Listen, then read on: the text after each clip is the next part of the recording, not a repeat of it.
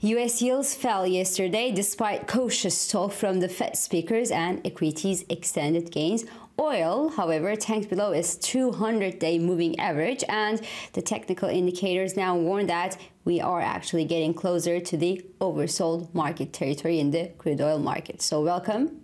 This is Swissquote's daily market talk.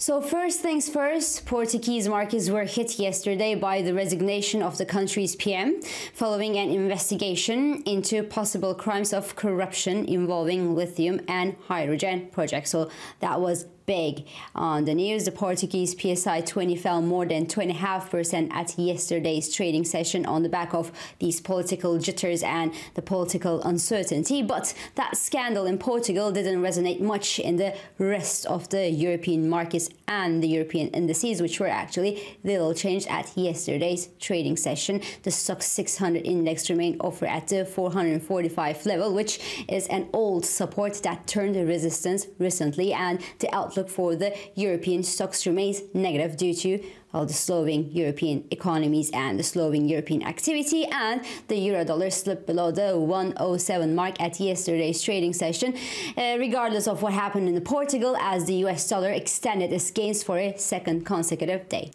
Now, yesterday was quite an interesting day in terms of Federal Reserve talk and the market's reaction to that Fed talk, because a few Fed speakers, including Mr. Neel Kashkari and Madame Michelle Bowman, actually sent a cautious message to the market and to investors on Fed's intentions, like it's too soon to declare victory on uh, inflation. We will continue to watch the economic data to see what happens next, and the three months of inflation isn't enough to call victory on inflation as inflation is ticking up again and more tightening could be on the pipeline if needed. But but in vain. The market's reaction to the latest comments from the Federal Reserve speakers was a thick and a determined whatever because the US 10 year yield fell below its 50 day moving average yesterday and is consolidating there this morning. The US 2 year yield steadies below the 5% psychological mark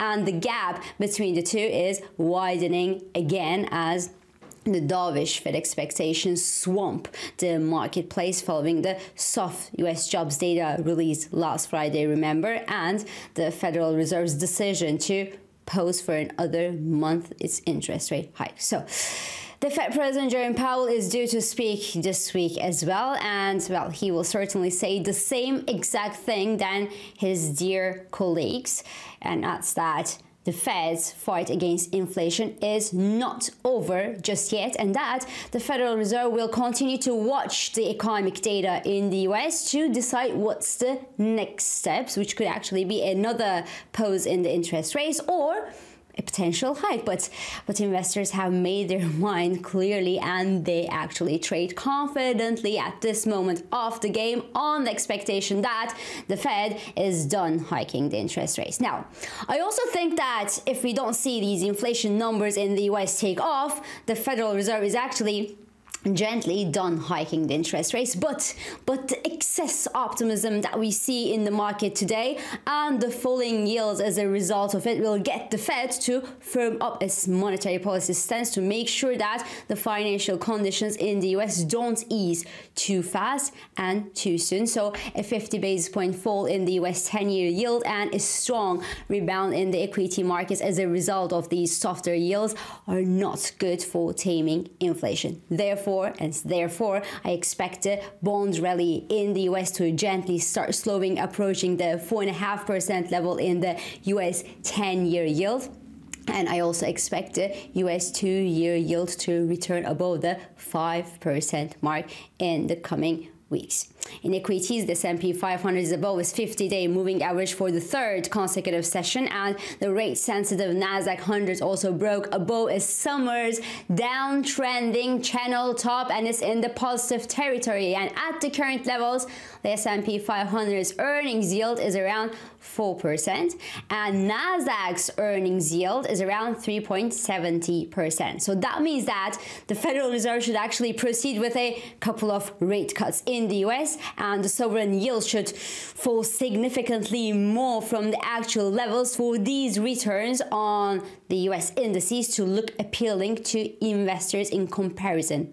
And that's why the equity rally doesn't look that it's on a solid ground to me. And that's also why the very Warren Buffett's Berkshire Hathaway increases cash positions by more than 20% last quarter and increases short term T bill investments by 36%, while adding only around 3% to its equity portfolio. So all this to tell you that you're not the only one trying to figure out whether it's time for a sustainable rally in equities or not. The thing is, investors have been seeing the market through their rosy, rosy glasses since around last week and even less than ideal news or comments that come in uh, since last week don't get much traction. Look, Apple gained almost 1.5% at yesterday's trading session the share price pulled out the downtrending channel top and hit the 100 day moving average level and that even though the company actually announced a sluggish outlook for this quarter remember that was just last week and also announced this week that it will halt the development of next year's software updates for iPhone for iPad and for its Mac to root out glitches in the code. So the latest news is barely cheery, you would agree with me, but you can't really tell that when you are looking at the Apple's share price. Smaller companies, though, they're kind of feeling the pinch of these tougher financial environment and tougher financial conditions. And in this context, I'm sure that you all heard that WeWork filed for bankruptcy this week. Now, obviously, we can't really say that they were doing well and that they were in good shape since a while, but they could have done, well, obviously better in an era of free money than they do right now. And in the sense, the non cyclical, the value names, although they are boring, are preferable for those looking for some portfolio readjustments to a slower economic growth environment. US equities could continue to outperform the European and Chinese peers, and I would also decrease my exposure to energy stocks moving forward, even after the environment friendly Mr. King Charles announcement that the UK will still distribute new drilling licenses in the North Sea area, and that despite the climate change warnings from around the world. So, this brings me to oil that has rapidly and unexpectedly fallen from grace since well the beginning of this month really and is still still very much struggling on the floor because the barrel of US crude fell almost 5% at yesterday's trading session after the $80 per barrel psychological support gave in to the growing weight of the increasingly aggressive oil bears.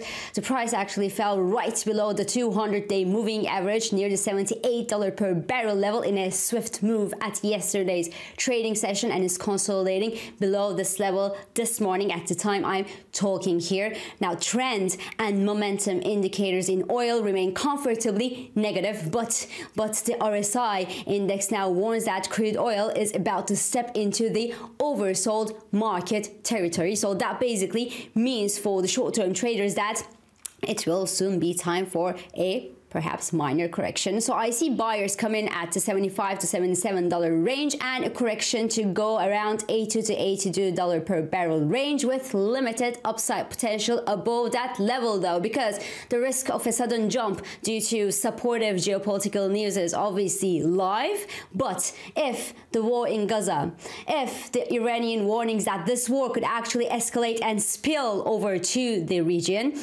and if OPEC and Russia's reminder that they will be keeping their production levels tight, well, couldn't prevent this month's sell-off in oil markets.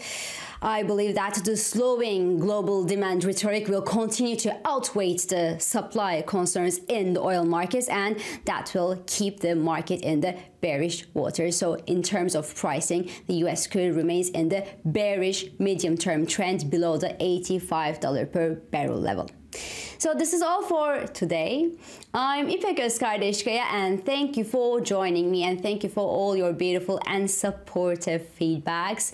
I hope this episode of Market Talk has been helpful and it has been insightful to you. So please do not hesitate to leave your comments, your reactions, and your questions below as usual.